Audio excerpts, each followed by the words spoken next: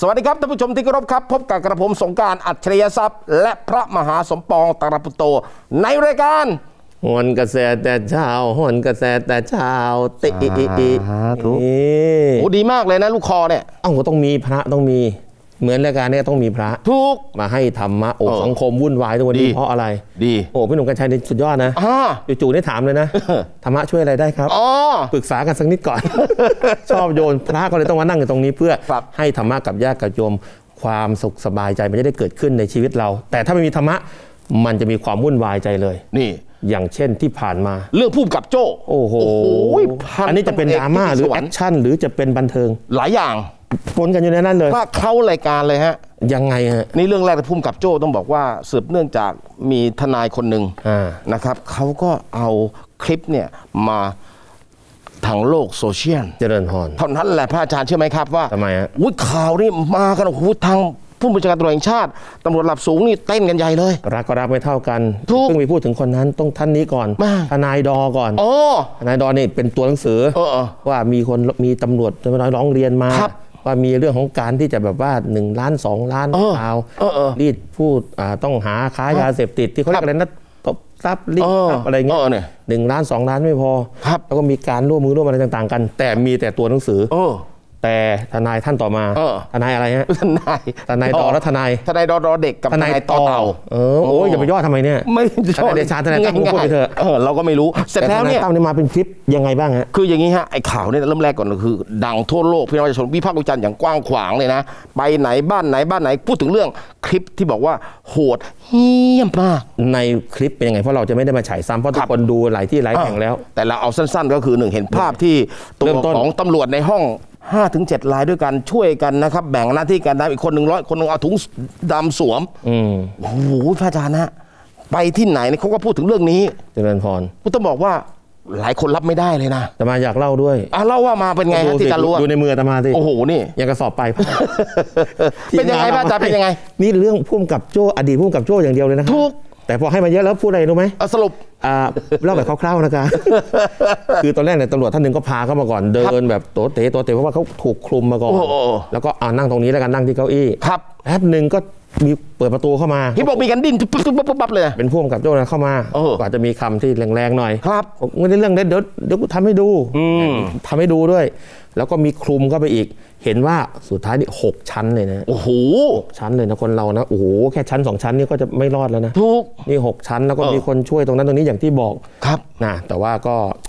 เหตุการณ์มันก็ถึงขั้นเสียชีวิตไปถูกนี่แหละเป็นประเด็นที่ฮือฮากันในโลกโซเชียลในประเทศไทยครับเห็นว่าไปถึงเมืองนอกเมืองนา จริงๆ แล้วเห็นอีกมุมหนึ่งเขาบอกว่าขณะนั้นยังไม่ถึงแก่ความตายยังไม่ถึงเห็นบอกมีการเอาน้ำสาดซุบอ่า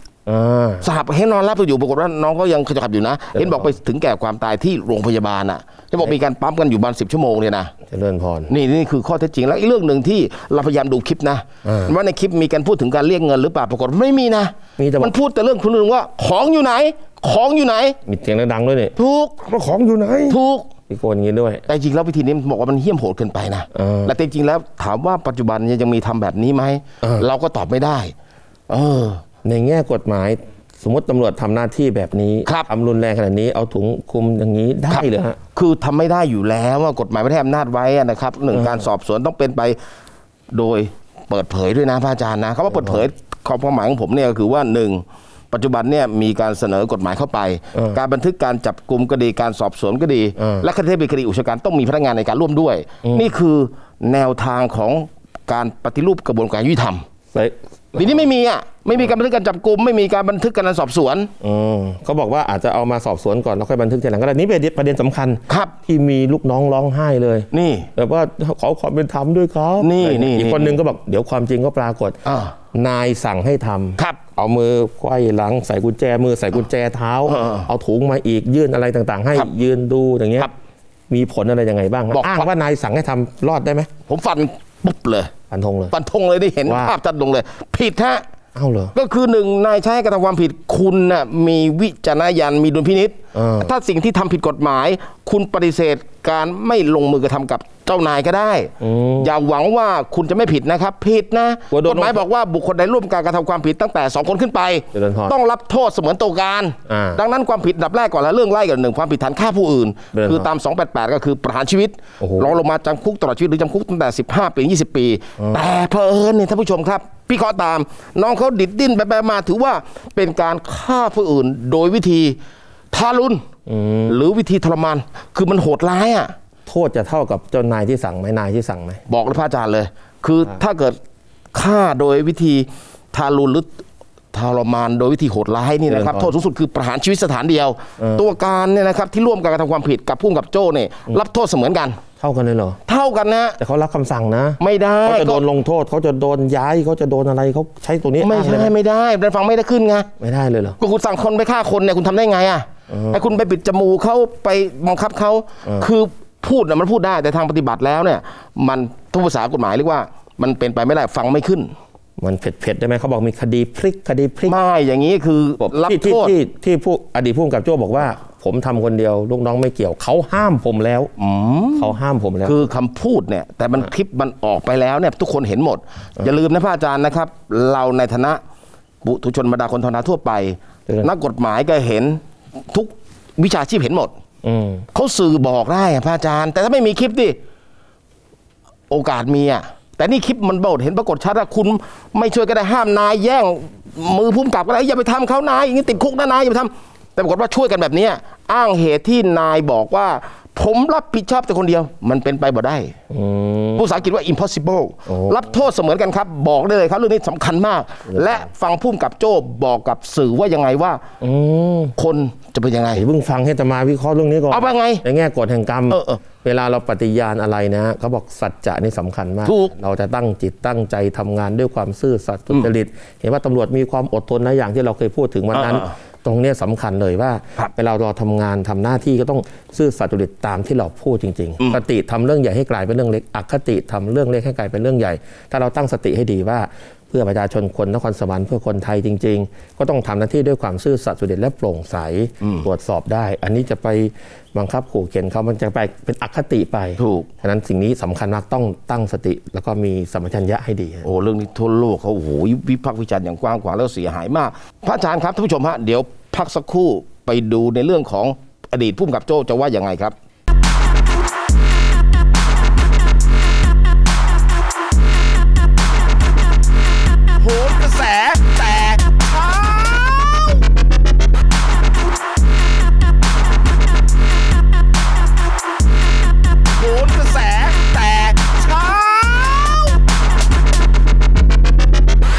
ละครับท่านผู้ชมครับ ตามมาดูกันต่อเลยครับเรื่องอดีตของผู้กำกับโจ้พระอาจารย์ว่ายังไงฮะไม่ต้องห่วงข้อมูลอาตมาเยอะสอบปลายภาคยังไม่เสร็จเลยนะทำไมฮะ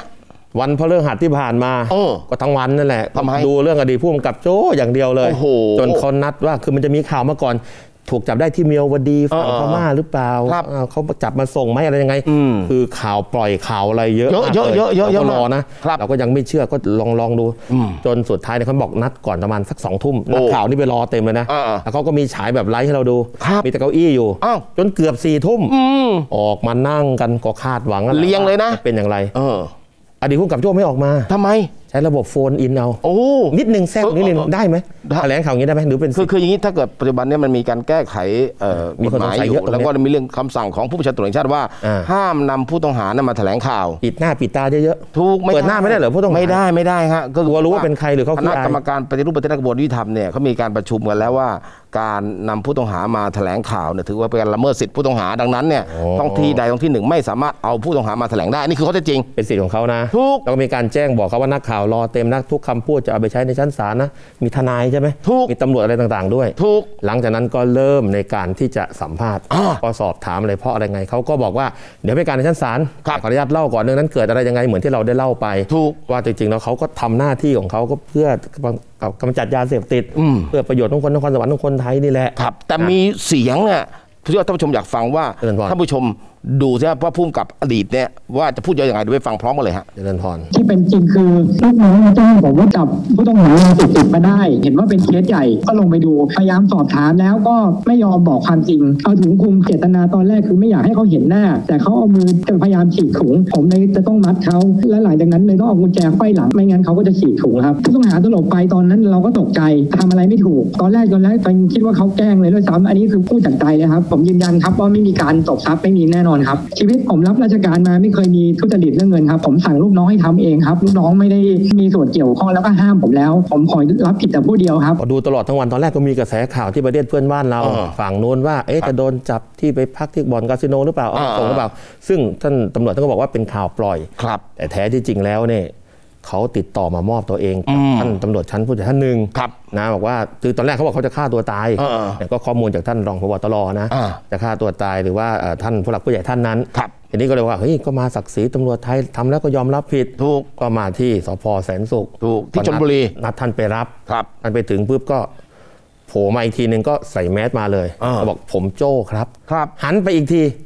รถที่มาส่งหายไปแล้ว เออก็ที่สงสัยก็เลยมันหลุดรอดไปได้ยังไงดูทะเบียนรถหลายคนไม่ทันสงสัยเอ๊ะมันมันเป็นไปได้หรือนะที่เหตุข่าวอุกชะกันแบบนี้อ่าตำรวจจะไม่สังเกตคนที่มาส่งมันก็อาจจะยืนมองอยู่อะไรเงี้ยนะก็ว่าถูกไปนะแต่ว่าคนก็จะสงสัยประเด็นนี้หน่อยว่าถูกจำรถจำทะเบียนไม่ได้ใครมาส่งอะไรอย่างเงี้ยนะอาจจะนิดนึงนิดนึงแต่ว่าก็อาจจะเป็นไปได้นั่นแหละเออทีนี้ก็พูดง่ายๆว่าเขามามอบตัวเองเออท้ายก็คือพูดง่ายๆว่ามามอบตัวตั้งแต่บ่ายครับ ตอนเย็นตอนค่ำเนี่ยหรือว่าเกือบสี่ทุ่มแหละครัที่บว่ามีการแถลงนะเขาก็บอกเหตุผลหลายสิ่งหลายอย่างที่เขาทำครับอ่าหลายบางคนวงการบันเทิงเขาก็แซวๆเหมือนกันนะครับครับว่าเอ๊ะก็เหมือนเหมือนเป็นจัดฉากเลยหรือเปล่าอันนี่เขาก็ตั้งข้อสังเกตคือนะก็ว่าเขากันไปบอกว่าที่ลงมือเนี่ยเพื่อขยายผลเรื่องยาเสพติดอืมอาจจะพลังเผลอหน่อยอาจจะหนึ่งที่ผ่านมาเห็นตัวอดีตผู้กำกับโจ้บอกว่าเขาไม่เคยลงมาดูแต่คดีนี้มันเยอะไอ้ต้องเป็นกิโลยาบ้าอีกต้องเป็นหมื่นเม็ดอะเจริญพรเขาลงมาดูเองที่อัดพังมือไปหน่อยใช่และที่สำคัญเขาบอกว่าแหม ก็คือลูกน้องไม่เกี่ยวนะครับ ผมรับผิดชอบแต่เพียงผู้เดียวอะในทำนองนี้เลยพระอาจารย์ แต่การดูบางคนเขาก็ตั้งข้อสังเกต เอ๊ะเหมือนมาให้แก้ตัวแล้วไปทางเดียวกันหรือเปล่า อันนี้เขาเออตั้งข้อสังเกตวงการละครนะเยอะเลยผู้กำกับอะไรต่างๆ นะเออเอ๊ะดูข่าวทำไมเหมือนดูละครเออจะมาเขียนบทอย่างนี้ไม่ได้นะอ๋อก็มีการโพสต์อะไรกันไปใช่แต่ดูแล้วท่านตำรวจท่านก็ทำหน้าที่ของท่านนะนะใช่ครับใช่ครับ แต่มีช็อตหนึ่งเลยสิทำไมฮะที่มีบอกว่าเหมือนนักข่าวถามเยอะแล้วเออเออเอาเท่านี้แล้วกันนะนี่นี่ประโยคนี้เราพูดได้ไหมเนี่ย ไม่ส่งฟ้องนะ ไม่ส่งดำเนินคดีนะ หรือจะเอายังไงอืมถ้าประโยคอย่างนี้นี่จริงๆท่านก็มีพูดต่อว่าครับเหมือนแบบว่ามันมันเยอะแล้วอืมถามแค่นี้พอครับแต่ประโยคที่ว่า เดี๋ยวจะไม่ส่งฟ้องดำเนินคดีอย่างนี้พูดคือได้ไหมคือคืออาจารย์เอ๋ยเลยนี่จากภาพหน้าจอนี่คืออ่าท่านรองสุชาติธีรสวัสดิ์รองพบตรถ้าเห็นว่ามีถามรายละเอียดไปแล้วเนี่ยเดี๋ยวเกรงว่าจะเสียรูปคดีอ่านี่ผมเชื่อเลยนะพระอาจารย์ว่าพระอาจารย์ดูเรื่องคดีของอดีตผู้กำกับโจ้โดยตลอดสังเกตเบ้าตานี่ทำไมฮะเป็นดูคล้ำเลยเหมือนกับหมีแพนด้าเลยอืมเชื่อเลยจริงๆเชื่อโดยสุจริตใจเลย แล้วช็อตท่านไปรับเนี่ยท่านเหมือนเสียงเศร้าๆเลยนะว่าถูเอกอเอ้ยไม่อยากให้ฆ่าตัวตายอยากถูให้กมามอบตัวอยากให้มาสู้คดีอะไรอย่างนี้ เอางี้คำถามแรงแทนคนอื่นได้ไหมได้ เป็นมวยล้มต้มคนดูไหมจะคดีพลิกไหมคือจากหนักมากจะเบาไหมอะไรคือง่ายๆนะพระอาจารย์นะเรียนท่านผู้ชมเลยฮะไอ้เรื่องคดีล้มคงไม่ล้มหรอก แต่เรื่องของเอ่อการสอบสวนเนี่ยที่บอกว่าถ้าเป็นตำรวจสอบกันเองเนี่ยต้องบอกว่า หลายคนก็กังวลเจริญพรจริงๆ แล้วคดีอุกชะกันเนี่ยนะครับท่านผู้ชมมาที่บอกว่าทำไมถึงกรรมการปฏิรูปถึงอยากให้คดีอุกชะกันเจริญพรต้องมีอายการเข้ามาร่วมด้วยอืมเขามีตัวแทนของในกระบวนการเข้าไปร่วมด้วยเพราะว่าไม่ให้มีการช่วยเหลือกันกลัวจะเขียนสำนวนจากแรงให้มาเบาได้อะไรอย่างนี้ถูกมีปะก็เนี่ยที่คุณบอกว่าแต่เอ้ยเราไม่ได้บอกว่าท่านท่านจะทำอย่างนั้นนะอ่าแต่ว่าเราตั้งข้อสังเกตเขาบอกว่าอยู่ๆเนี่ยเอ้ยมันมันพลิกเลยนะอืมเป็นคดีเรื่องของการ ขยายผลเรื่องยาเสพติดแต่เสียงเนี่ยมันก็บอกได้ว่ายาเสพติดจริงๆนะไอ้เสียงที่บอกว่ารีดเงินน่ะมันไม่มี แต่เขานี่ไฮไลท์ตรงนี้พระอาจารย์ยังไงหลังจากที่สื่อกำลังตามนู่นตามนี่ปรากฏว่า มีอดีตคนที่เคยถูกจับเขาออกมาเผยดิว่าว่าเคยถูกเรียกแต่จริงหรือเปล่าเนี่ยโอ้โหเรื่องนี้สำคัญนะพฤติการทั้งหมดเลยอะไรต่างก็บอกเรื่องเงินเรื่องทองไม่มั่นใจ แต่ว่าเรื่องทรงเรื่องซ้อมน่ะมีอืมทีนี้ศึกนี้ไม่หยุดแค่เรื่องตำรวจๆทำไมฮะไปถึงทนายเนี่ยสิอู้ว้าวทนายเย้เด็กจังโอ้วงการตัวเองไม่สาธุขอให้มีวงการเขาบ้าง ส่วนใหญ่เขาจะเล่นวงการอาตมารายการเราเนี่ยชอบมีแซววงการอาเอตมาอจริงๆแล้วเนี่ยทนายสองเขาเริ่มยังไงสองคนเนี่ยก็คือบอกว่าเรื่องข้อกฎหมายกันรักกันมากใช่ไหมรู้ไม่เขาไม่ถูกกันจริงหรือเปล่าฮะท่านผู้ชมมีคำตอบอยู่แล้ว ผมเรียกว่าทนายดอเด็กอ๋อกับทนายต่อเต่าย่อคือเพื่อทนายอะไรต่อเต่าเนี่ยเขาก็เอาการที่เอาคลิปออกมาเนี่ยผมว่ามันก็เกิดประโยชน์นะทำไมต้องคือเอ่ยภาคส่วนในต่างๆเยนิดนึงคืทำไมต้องเอ่ยกระนชื่อย่อเอาหน้าเล็กชื่อย่อดีกว่าอย่าไปนั่นเลยเพราะท่านผู้ชมมาคือ เราให้เซฟเป็นอะการ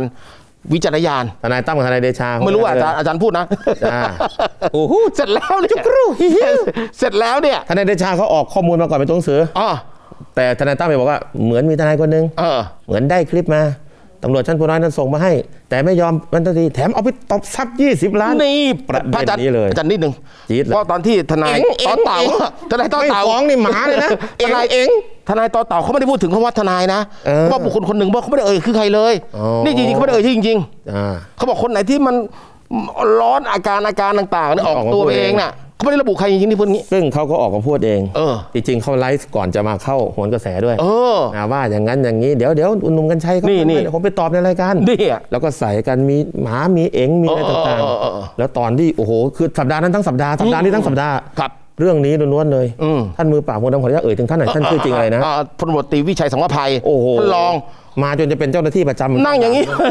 ผู้กับท่านรองรองรองผู้จัดอาจแต้จะมาแซวท่านนั่งท่านเลยมาประจำจะเป็นเจ้าหน้าที่ประจำท่านบอกเหมือนท่านนั่นแหละครับ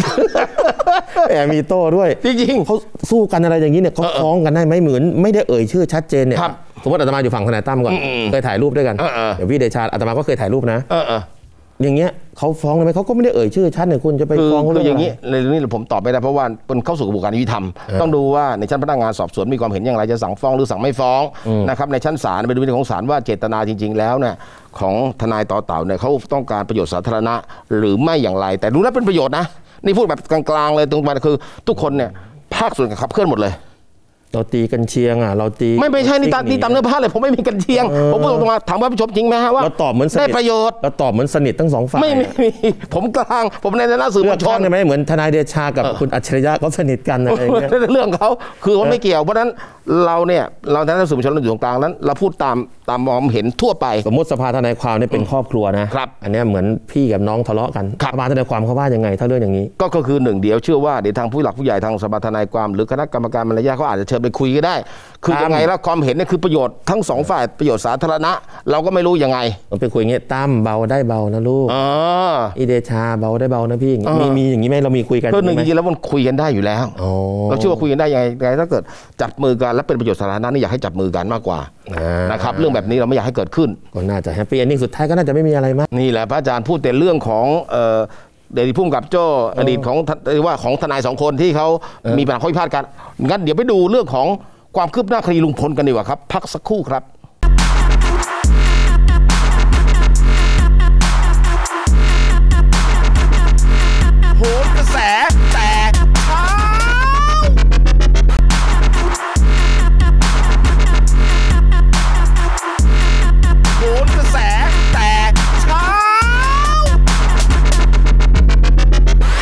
ละครับท่านผู้ชมครับ พาท่านผู้ชมปะพระอาจารย์ไปที่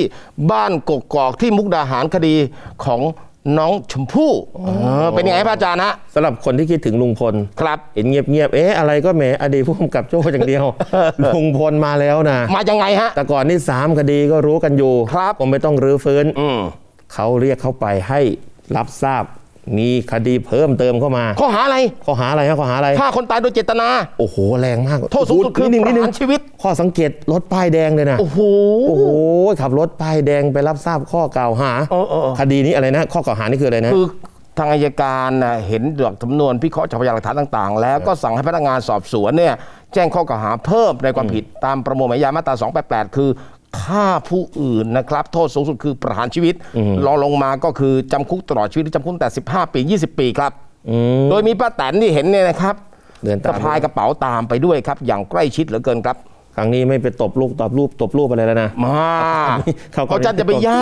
ำเขาก่อนที่ไปตบอย่าไปนิดนึงย้ำอาจารย์เห็นขนาดนั้นใช่ไหมเขาเขานี่เห็นมีเขาคำนับด้วยปึ๊บเออนี่อย่างนี้เลยออน่ารักขึ้นร้ายแรงไหมเนี่ยคดีอย่างก็เงี้ยโทษสูงประหารชีวิตนะพระอาจารย์ เอออมถ้าถามแรงๆหน่อยแฟนคลับลุงพลจะว่ามันอ๋อจะรอดหรือไม่รอดเนี่ยก็ไม่ตอบไม่ได้อะขึ้นอยู่กับตอบไม่ได้พยานหลักฐาน แต่ที่สำคัญเรื่องหนึ่งก็ตามผมทำไมเชื่อว่า จากการที่ไปยึดโทรศัพท์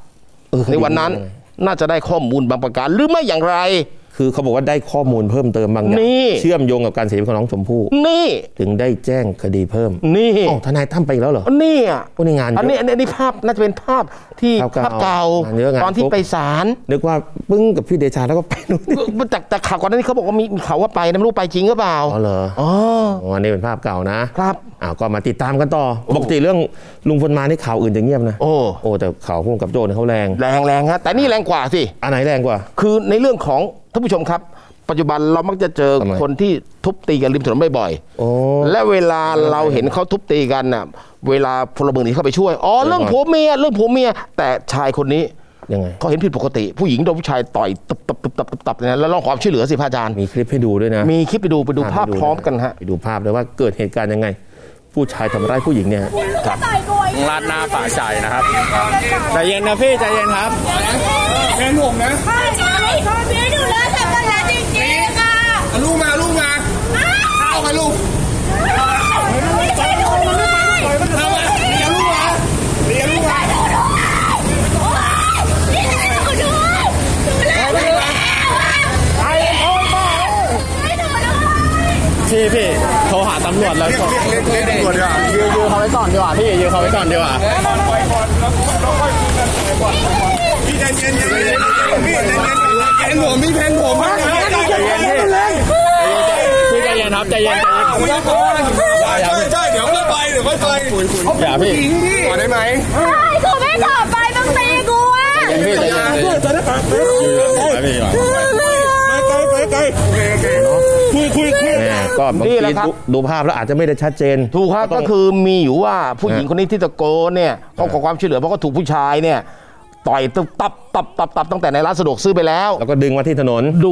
นวงเหนียวกังกักขังเขาจะขึ้นรถให้ได้ผู้หญิงเนี่ยขอความช่วยเหลือมีพลตอนนี้เมืองน้องคนที่ชื่อเบสเนี่ยที่คือฮะเจษดากรเนี่ยต้องชื่นชมเขา ฮะ ขับมาผ่านพอดีเลยพระอาจารย์เห็นเหตุการณ์เห็นเหตุการณ์เขารู้สึกอะไม่แป๊บดีนึงแล้วเอ๊ะผู้หญิงร้องเนี่ยฝ่ายชายเนี่ยนะก็ตะโกนนะเนี่ยโอ้ยนี่นี่นี่แฟนคือผมผมจะต้องแฟนผมแฟนเขาแล้วก็เนี่ยมีลูกเนี่ยถามถามลูกดูก่อนก็ได้ ผู้หญิงสวนมาเลยผู้หญิงสวนเลยบอกว่าไม่ใช่ในลูกติดของเขาเออผู้ชายเห็นท่าไม่ดีเลยแล้วเขาตะโกนบอกว่าช่วยตามตำรวจหน่อยตามตำรวจนะตำรวจพลเมืองนี่ก็ช่วยกันคนนี้ เจริญพรโทรตามตำรวจอืมสักพักใหญ่ๆตำรวจมาอ่านะครับและที่สำคัญคือพอตำรวจมาปั๊บอ่าอะผู้ชายที่ลงมือมันหนีเลยอะได้จังหวะพอดีเออหนีทำทีดิเลไปยที่แล้วเอาโทรศัพท์ของผู้หญิงไปด้วยกระโดดขึ้นรถมอเตอร์ไซค์หนีไปเลยโอ้โหนี่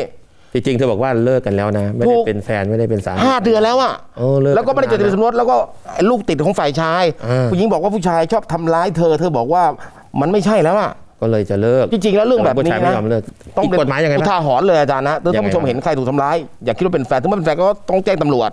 อันหนึ่งทำร้ายร่างกายในโทษจำคุกไม่เกิน 2 ปีหรือปรับไม่เกิน4ี่หมื่นถึงจำปรับ อันที่สองความผิดที่สองพระอาจารย์เจริญพรหน่วงเหนียวกักขังทำให้เขาได้ปราศจากเสรีภาพ อันนี้โทษจำคุกไม่เกิน 3 ปีหรือปรับไม่เกิน 60,000 บาทหรือจำทั้งปรับเขาบอกว่าฝ่ายชายเนี่ยเอาโทรศัพท์มือถือไปอีก ก็โดนเรื่องลักทรัพย์สิโอ้โหหลายคดีเลยก็โทษจำคุกไม่เกิน3ปีหรือปรับไม่เกิน60,000บาท เช่นเดียวกันฮะเหตุการณ์อย่างนี้เวลาคนเห็นในโดยหลักกฎหมายเนี่ยต้องเข้าไปช่วยไหมถ้าคือไม่เข้าหนึ่ไปงช่วยมีความผิดอะไรไหมเราต้องดูกำลังสิพระอาจารย์อ่าถ้าเราเข้าไปแล้วถ้าเกิดคนที่ทำร้ายมีปืนเจริญพรเข้าไปในโป้งปั้งเราจะตายซะก่อน แจ้งตำรวจดีที่สุดนะเดี๋ยวฟังเสียงผู้หญิงสั้นๆพร้อมกันนะเจริญพรเขาเป็นอดีตแฟนค่ะคบกันได้ห้าเดือน แต่หนูเริ่มไม่ไม่โอเคกับนิสัยเขาเรื่องเขามีประวัติ เรื่องการทำลายร่างกายมาก่อนหนูก็บอกเขาว่าเลิกกันนะ ไม่โอเคกับนิสัย แต่คือเมื่อวานหนูไม่คิดเนี่ยพี่ว่าเขาจะแบบโผล่มาแบบอายขนาดนั้นอะเขาก็จุดกระชากลากถูเหมือนในคลิปเลยค่ะพี่อืม แล้วตอนนั้นพลเมืองดีได้เข้ามาช่วยเราบ้างไหมฮะ ก็กว่าจะเข้ามาค่ะพี่ก็หนูก็เกือบจะสู้ไม่ไหวแล้วค่ะ อืม เพราะว่าเขาเอาเรื่องลูกเรื่องแฟนแบบ นี่แฟนผมนี่ลูกผมมาอ้างเขาก็เลยไม่กล้าเข้ามาช่วยกันขออนุญาตนี่พูดในเรื่องกฎแห่งกรรมซะหน่อย อ่าการอยู่ร่วมกันถ้าเรามีพรหมวิหารธรรมต่อกันเมตครัตาบรักกันคงไม่ครับทำร้ายกันถูกกล้าต่อยลูกสาวเขาได้ยังไง ครับ กรุณาสงสารอกเห็นใจกัน และนี่เกิดในกรุงเทพมหานครนะพระอาจารย์เจริญพรปากซอยอุดมสุข 49 แขวงบางนากรุงเทพมหานครดังนั้นพนักงานสอบสวนเนี่ยจะต้องดำเนินคดีกับ ฝ่ายชายด้วยนะครับพระอาจารย์แต่นี่มีความผิดอย่างชัดเจนเลยถูกฮะโอ้แล้วก็เพื่อเป็นยิ่งอย่างต่อไป อะไรที่ไม่ดีเขาเหมือนนิ้วร้ายก็ต้องตัดทิ้งไปนี่นะเหมือนวงการตำรวจย้อนไปเรื่องผู้กำกับนี่โจ้พระอาจารย์พูดท่านผู้ชมอะไรได้ยินใช่ไหมฮะทำไมฮะที่ท่านผู้บัญชาการตำรวจแห่งชาติท่านพลตุเอกสุวัสดิ์แจ้งยอดสุขว่าเอ่อนิ้วในร้ายเนี่ยต้องตัดทิ้งนะครับม ปรากฏว่าผมนี่ คือไม่อยากให้เครียดอ่าปรากฏว่าเอาคนที่นิ้วขาดทำอย่างนี้ เออทำไมก็คือความคือหถ้ามายนิ้วไหนร้ายเนี่ยในวงตัดทิ้การงไหนก็แล้วแต่ถูกให้ตัดนิ้วทิ้ง ผมกลัวจะด้วนแบบพอนี้ตัดไปปุ๊บด้วนทั้งสิบนิ้วเลย นี่ ผมกลัวท่านผู้ชมว่าจะด้วนแบบนี้ไหมครับ อันนี้ท่านบอกปักอย่าอย่าโกรธครับคือเราเราหยอกท่านเล่น ไม่อยากให้ท่านเครียด แล้วก็ใครดูหัวเราะกันนั้นนะขำๆกันเพื่อจะได้พัฒนาองค์กร และผมเชื่ออีกไม่นาน นายกต้องไฟเสียวเอ้ยไฟเขียวเออให้ปฏิรูปด้านบริธรรม ด้านตำรวจอย่างจริงจังทันทีฝากไว้เลยฮะ เพราะว่าเรื่องต่างๆ ถูกดองไว้ไปไหนหมดสำคัญที่สุดก็คือนิ้วไหนร้ายตัดนิ้วทิ้งถูกแต่ดูด้วยว่าวงการเรานิ้วจะเหลือไหมถูกนิทานนี้สอนอย่างนั้น อันนี้ท่านพระอาจารย์ยุผมนะครับโทษนะเอาละครับท่านผู้ชมครับ หมดเวลาแล้วครับ เดี๋ยวพบกันใหม่ในรายการโหนกระแสแต่เช้าทุกวันอาทิตย์เวลา 6นาฬิกา55นาทีกับผมสงกรารอัจฉริยทรัพย์ และพระมหาสมปองตารพุตโต ในรายการโอนกระแสแต่เช้า สวัสดีครับ เจริญพร